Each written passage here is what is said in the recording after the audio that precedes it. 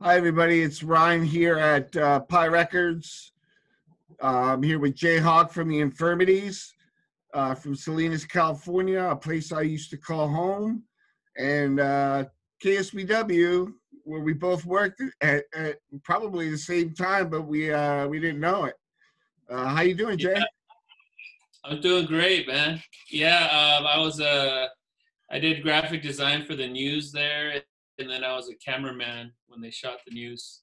So we might just miss each other, you know, because they shoot it at different times, and Yeah, I who was knows? I was early morning, hmm early early morning uh, director. Awesome. So uh, tell me about the Infirmities, man. How did you guys get together, and how would you describe yourselves? Um, well, we're we're Salinas Street Punk is just kind of a the quick uh, the quick name that I came up for the quick description I should say of our music based out of Salinas, California. Um, but really a combination of uh, I mean old school thrash, Reagan era hardcore, um, probably early '90s street punk.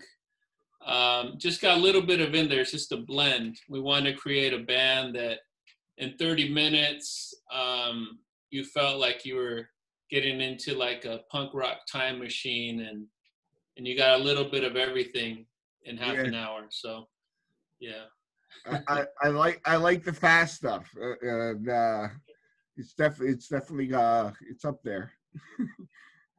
yeah yeah and it's Um, fun you know the idea is keep keep people in the circle pit you know what i mean like once it gets Yeah. going you want to have like a nonstop 30 minute experience where the kids come in they don't get out and they just keep going you know so that was the whole idea Yeah. so, Uh, so Monterey ha- has a pretty pretty big punk rock scene. Um, they used to have the Lost Dry Heavers. Are they still around? Um, Los Dry Heavers are, are friends of ours. Uh, I know Felix and Eddie and and all of them. I grew up with them. They used to be in um, another band called Stub out of King City, and we had that was uh, Small Town Ugly Bastards. Is what that stood for. And uh, uh, Los Dry Heavers came after that. They actually they were a band for a good ten years, um, and then after ten years they decided just to uh, they're they're still they they they're still a band. I mean, they still play shows every now and then. I just put it that way. Um, like I'd say maybe once a year they'll get together just for fun, and they'll have a show like in Santa Cruz or something, um, or to raise money for charities and stuff like that. Um, but as far as being an active band, like after ten years, they decided, you know, there's other things they need to do in life. so, Yeah, and that happens when you're touring a lot, you know. Yeah, Yeah. Uh, speaking of touring, how have your tours been uh, before quarantine? You, you were you were playing out a ton. Yeah, um, we're a pretty active band. Uh, try to make sure that every single month we had shows to, to, to go and play. Um, Los Angeles is, is very much a common spot where we would play our gigs. Um, we pretty much we worked really hard to um, you know I, I figured out in the beginning the only way that we were going to make a name for ourselves was just to keep touring and to keep playing lots and lots of shows. So um, on average, we were playing seven to eight shows a month. Sometimes, you know, I'd stay in Los Angeles for a week, and we'd play every day, all week long. We'd we'd have a show in different parts of LA. Wow. LA is big enough where you can do that. I mean, you can go from one section of LA and and go to another sec, be in different clubs every night if you want. You know, if if you do it right. And um, um, yeah, so yeah, we stay pretty active. Uh, mostly, mostly, mostly California, but we also performed in um, Austin, Texas. We did two two uh, overseas tours, two European tours, doing England, Germany, France, Belgium. Um, played some big festivals in the UK, um, and we're trying to work on doing some on the East Coast. That's definitely in the plans. That's something we want to do in the future. So. That'd be cool. Um, so how, uh, I want to think of the words. you have a strong connection to the Bad Brains. It's pretty it's pretty obvious. Um, positive mental attitude. When I see your posts on Facebook, it's always something positive. Community, togetherness. Uh, tell me about your your ethics behind your band. Um, well, we're pretty much a, a, positive punk rock band. You know, I believe very much in uh, Bad Brains. There, there's a there's a real connection there uh, for a couple reasons. Uh, one, just in general, growing up listening to punk rock music uh, since I was like 11. Um, I could say a lot of it, you know, when you're when you're first getting into it when you're really young, there's a lot of teenage angst, a lot of uh, you know, it gets you going. You know, you hear something in there and it's like, man, I want to be a part of that. That's me. Um, there wasn't too many punk rock bands I found that had a positive message uh, when I was younger. You're looking back, you're not necessarily looking for that, but then at the same time, there's not a whole lot of options in general. I mean, when I look back, I think Bad Brains is one where you look at the lyrics and, you know, as hardcore and as fast as they were, and people loved them, you know, their message was uh, God's love and unity and stuff like that. And people, um, same thing for Minor Threat. You know, you have a really fast, strong force, um, yet they're singing about straight edge, about the straight edge movement, and about not doing drugs. So um, the thing with infirmities, I spent a lot of my life in in regular punk rock bands that talked about same type of thing, you know, anti this, anti that. Spent a lot of years, I guess, being angry, like like like most punk rockers do, and a lot of people never really change from that that mindset, you know. Um, I had a lot of life changing uh, experiences in my life that helped me pretty much reevaluate my life. And um, I decided that if I was ever going to come back and do punk rock, that it was going to be positive. I wanted I wanted to have a band that stood for something different, not not the same thing I had already done for like 15 years. Um, I did I did about 15 years of of uh, your typical punk rock message, and when I had a life changing event, uh, I came back two years later with a whole new message, different mindset, and um, that's really what infirmity is about. It's about I believe a lot in second chances. I believe a lot about forgiveness. I believe a lot about unity uh, with everybody in that circle pit. You know, no matter no matter what uh, what background they come from, what race, what religion, um, it's a, it's like a one love experience. Um, Bad Brains talk about one love a lot, and my connection with Bad Brains has a lot to do with HR. Our our first major tour was with HR Bad Brains, and so I got to spend a lot of time with him one on one. You know, we shared a tour van, and um, pretty much every night, every morning, we'd wake up, sip tea, and talk about um, our experiences in life. So um, a lot of my influence is is personal too. I think it became stronger after that tour with me and HR. Um, he calls me Josh Son instead of Jason. Um, most people know me as Jayhawk. But throughout the tour, that was I'd wake up in the morning and he'd be like, "Josh, son," he'd like come and you know, we'd have tea together. He'd give me a big hug and just a really loving person, great spirit to be around, and um, just a great experience. Um, so yeah, pretty much. Um, I always think about the next generation of punk rock. I think a lot of us get stuck either in what punk rock was before or how, how we grew up with it, how, how it was at the time, how it is now. But I'm always trying to think about the next generation of punk rock kids. Also because I'm a father too, because I, I have a I have a daughter as well. So I'm always I'm always thinking um, just to kind of plant a seed out there for the next generation. Awesome, awesome. Um, so you got any cool tour stories uh, to tell me about? um, let's see. Um, Well, I could talk a little bit more about the HR one. That that was our first. Uh, we had been on other small tours, uh, like weekend runs when we first started. Uh, we did some of those with like Total Chaos, uh, Union 13, um, Edward from Union. We've been friends a long time, uh, like 20 something years. Um, Total Chaos. I've known Rob and Sean for many many years too. All for me being another punk rock band. It's not really infirmities, but when I started this new project, you know, I had old friends that I could still connect with and be like, hey, I got this new project.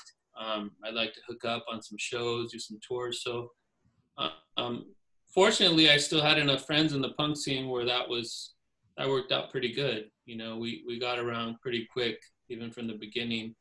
Um, so our our but our one of one of the most memorable times was with HR. Um, it was the first time we got one big van and, and both bands got to ride in, in one in one tour van.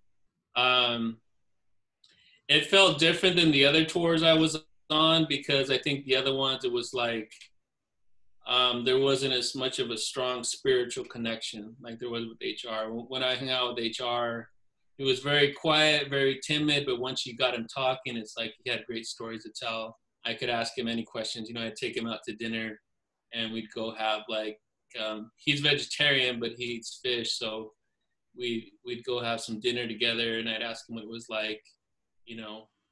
I asked him how he grew up asked him what it was like where he lived now um, and anyway I just got to know him and it felt very personal. I felt like hanging around with him not only was it like a huge blessing to like sit and watch like Bruce Lee movies with him and like when we weren't touring, like we we'd come home from dinner and we'd watch like the Big Boss from Bruce Lee, uh-huh. and just like get back on the couch and and you know it was just it was just fun. It was fun to hang out with them. Um, we would pray together before shows. We'd wake up in the morning, sip on tea because you know our our voices be a little raspy from the night before playing all these shows back to back every night and um, even that was nice, just sitting around getting to know him that way. Um, I'd ask him stories about his songs, some of his songs that we all know, and he'd tell me, you know, what what influenced him to write those songs at the time. Um, Attitude.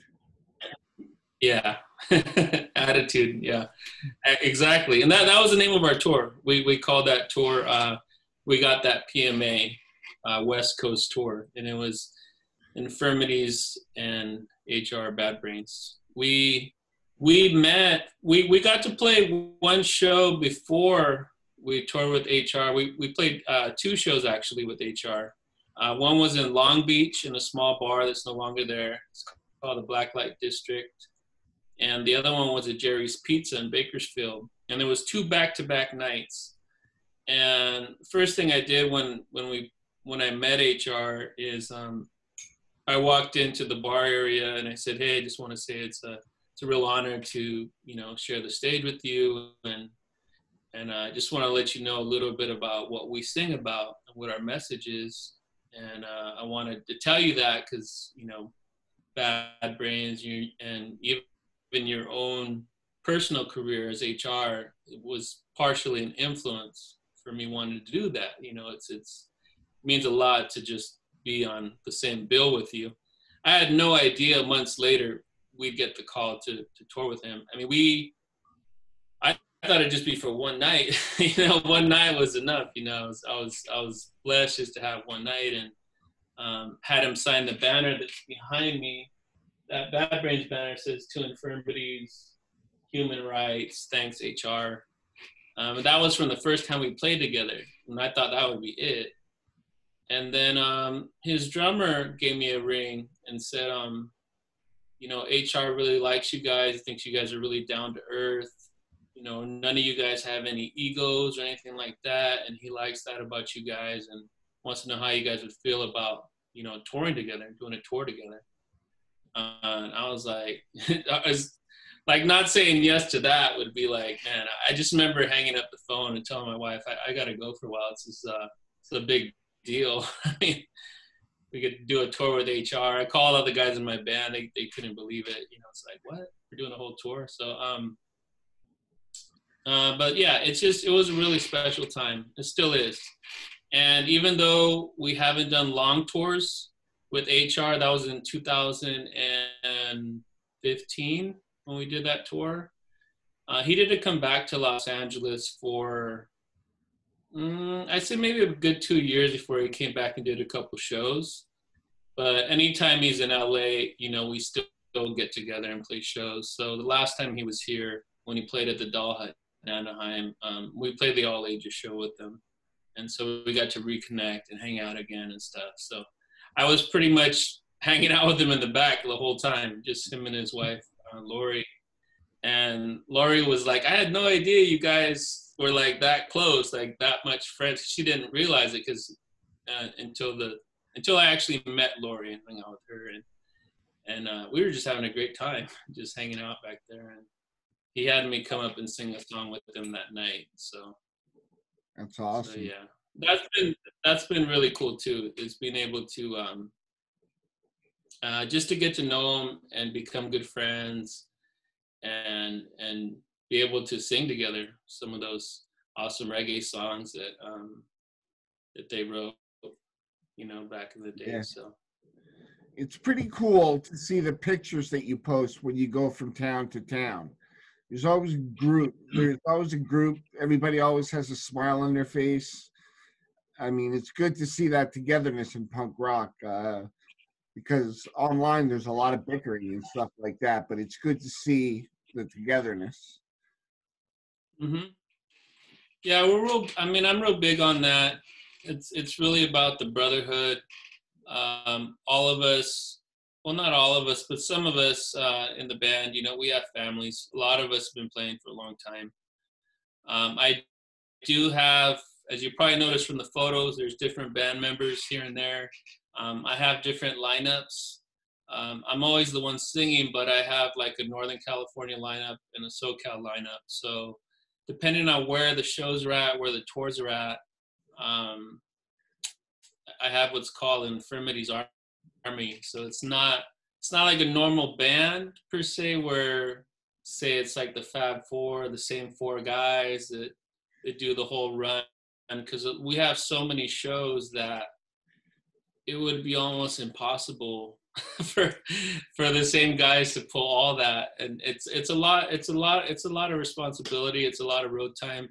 And uh, you know at the end of the day people have jobs people have lives yeah. um, outside of being in bands. And as you get older you you you definitely find that out uh, pretty quickly. It's uh, adulthood would fill up your time pretty quickly. And so I, I, knew that with infirmities, we we were off to a great start from the beginning, and the only way I was going to be able to keep us active and to keep us touring was I was going to have to have more members that were going to learn all the material and are just ready to to go go tour. You know, whenever they get the call, it's like, "Can you do these dates?" Yeah, I'm down. Let's go. And it made things a lot easier that way. So that's really interesting. I, I don't know if I've ever heard that before. It's kind of a it's kind of different. I mean, I've I've talked to a lot of different bands, and and um, whenever I share that concept, people are like, "Man, I've never thought of that before," but that's it makes a lot of sense, you know, like yeah, because because you know because they're like, I hate having to turn down a gig, you know, we get a call and really want to do it, but one guy can't, you know, because of work or whatever and I said, well, yeah, that's, you know, you got to have like a plan A, plan B, plan C, plan D. You know, one guy can't do it, call up the next guy. Okay, you down? Yeah, I'm ready. Let's go. I mean, I we would have never been able to stay as active as we have been for the past eight years if we if we didn't have a system like that. Um, sure, there's some members that have been very consistent, like Harvey Rebellion. He was he was our guitarist for three years solid, never missed a gig. He wanted, he said, I want to do it all. I said, You want to do it all? I said, Be careful when you say all because that means we're going to be really tired. It's a lot of driving. And he's like, I understand. I want to do it. I said, Okay. So he did. You know, we went three years straight. And then he took a break and stuff to come back here and there. But most of the time, I my whole thing too is I don't like to wear anybody out. It, it's not about um, it's easy to to burn yourself out on on constantly playing, playing, playing. Um, the road gets tiring, you know. And my whole thing is if if I could build a family of members, which is really what we are, and um, basically be able to be flexible to people's schedules, you know. Uh, say my drummer says, "Hey, you know what? I can't do that Swingin' Utters gig in in June. Can you give it to David?" David's like, "Yeah, man, I'm down. I'll do it." Uh, you know, the the flexibility on my side is great, and it's great for them too, because they don't feel bad calling me and saying, "Hey, I can't do that one," because they know somebody else can can take the spot, and we're and we're still going to be fine, you know. And I don't I don't like putting any pressure on any of my guys. I think anybody who's been in infirmities, you can ask them uh, what it's been like. A lot of them will say that they like that flexibility. I kind of built a system that worked as far as, um, yeah, it, it, you know, you play when you can play, and that's fine, you know. Yeah. Um, so yeah, I keep it flexible for people. Awesome. You know. So you, we have one of your one of your seven inches here at Pi Records. Uh, Mhm. But tell me about your releases. What do you have? Um, the one you have is, I believe, it's the Faith and the Fury. That one's on uh, on Malt, Malt Soda Records. Uh, there's 500 copies of vinyl for that one that were that were pressed. Uh, one in red, white, blue, and black. Uh, I believe there was like I don't know, like 100 copies of each color. Um, the colors have gotten harder to find now. I don't I don't think there's definitely more black. We I think there was 200 black printed and then 300 in assorted colors. So that would make sense where there's the most of the color ones are gone. um, but besides that album, we have another EP that was released. It's called Paid in Blood. Um, that one has eight songs on it. Um, that one was only available through CD though. We never pressed it on vinyl. It's a little hard to find now. I would say we only made probably about a hundred of those. Um, it it actually was the first, pretty much the first EP we released. However, it was not um, the first recording. It was actually the second recording, so it's a little bit backwards. That first EP that came out, um, it, it caught some attention, and but we had really been shopping around the recording of the other eight songs for a long time, which is the one that you have. And uh, when Malt Soda heard it, Scooter Scooter Buell, how's it going? Shout out to Scooter. When Scooter heard that, he was like, "Man, we we got to press this. You know, I'm I'm very interested." And um, he called up Sammy Town from Fang, and Sammy vouched for us. Said, "Yeah, you should totally sign these guys. I mean, these guys are very active. They play a lot of shows. They'll definitely sell records because they play a lot of shows. So just from the shows, you'll sell records. And um, uh, but but the recording that you have is technically was our first real recording, and it's nice and raw. Was recorded in Los Angeles, and the and uh, the drummer from Total Chaos recorded our first uh, EP, the one you have, and we had just got back from doing some shows with them in Austin, and uh, he's like, "Hey man, come to my studio." So Rob came by during the recording. Um, we cut it in one day, everything, all the vocals. It's eight songs. We came in the morning, left, left at nighttime, and the whole thing was done. It was like in and out. And then um, they took up off. They took off to Europe after we finished that recording, so I wasn't able to get a mix of it till they came back. so we were waiting around. Uh, it was like, man, when do you get back? Uh, but yeah, those two records really, Paid in Blood should have been released after the Faith and the Fury. But Paid in Blood is also hard to find.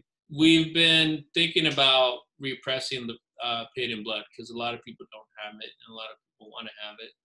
Uh, but we're also um, working on recording a full length right now. Um, so that's that's in the works. Uh, but as far as what's out there, there's only two EPs, and both EPs have eight songs on them. So That's awesome. songs are short. So Yeah. So, So, uh, is is there anything else you wanna you wanna mention or or talk about before we sign off? um, let's see. Well, um, I guess I could just share. I mean, just like everybody else going through what happened, you know, COVID nineteen. Uh, we we had other stuff planned for this year. We were supposed to be at Punk Rock Bowling. Of course, that got moved to next year. We were on a lot of different festivals that got moved to next year. um, but it's been a good time for us to write new songs. Uh, we've been working on new material. So that's something to look out for. Uh, we got a new song called Mass Defiance. We're working on uh, partially based on what's happening right now. Uh, working on possibly a music video for that song as well. Um, so definitely in 2021, you'll definitely see some new music coming out from us. Um, Awesome, awesome. And probably a video. So Oh, yeah. that's, that's great. so All right. Well, thank you, Jay.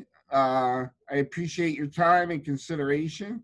I love you guys. Uh, uh, it's, I feel I feel a connection because of the Salinas the, the Salinas punk rock scene because I really miss it there. Uh, I miss the whole area, all the little towns around it, and uh, the, the people were were- were very unique and kind, and, and I really miss it there. Yeah. Well, it's it's a you know it's my hometown, born and raised here.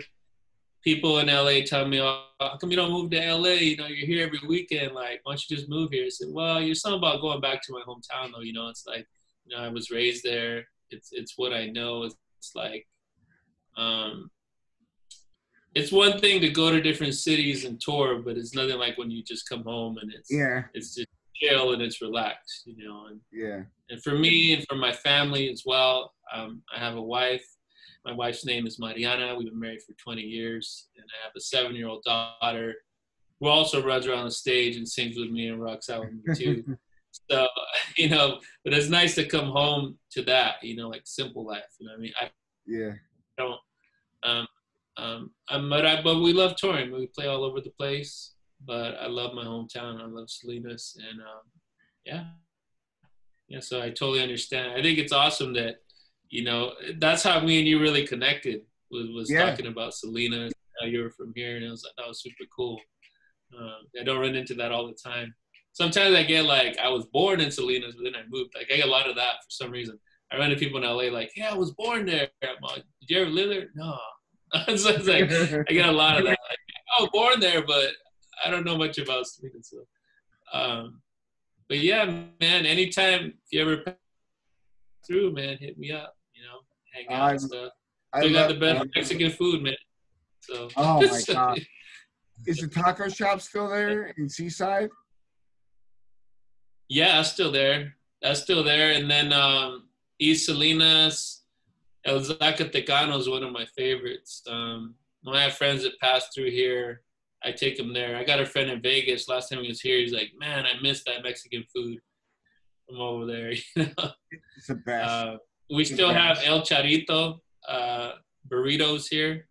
Oh, yeah. Everybody always grabs burritos here. So There was uh Super Pollo down down by the by the station, Super Pollo, yeah, and they were like this big. The the burritos. Yeah. yeah, we still got we still got Super Pollo. We got two of them actually, two locations. And uh yeah, there's definitely I mean there's a lot of lot of good food here, that's for sure.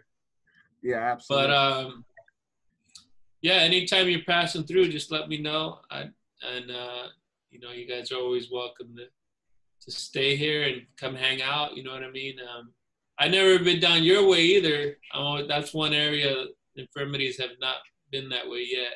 you um, love um, you love Philadelphia. Yeah, yeah. Well, that's actually where HR's where HR lives right now. He's in Philly, so Oh, I didn't know that. there's a good chance. Yeah, he's in Philly, so there's a good chance that you know, eventually we're gonna make it down that way. Uh, our guitarist who's playing with us now, his name's Talon. He's actually from he's actually from that area, so he's talking about us doing a tour that way. He's got friends and connections out there, and we've got people who have written to our page for years, Wine has come to the East Coast and come to different areas. And um, we're about to hit Portland pretty soon. So Portland, Oregon. It's a punk fest this year. Got moved next year, but we'll be there next year. So yeah, just working our way up there. So It's awesome, man. Well, thank you so much for your time, Jay, and uh, I wish you guys all the best, love and respect, and uh, I look forward to seeing your your positive message and everything you guys do uh, in the future. And I wish you the best of luck. oh man, thanks man. Thanks for your time. Appreciate you. All right, take care, buddy.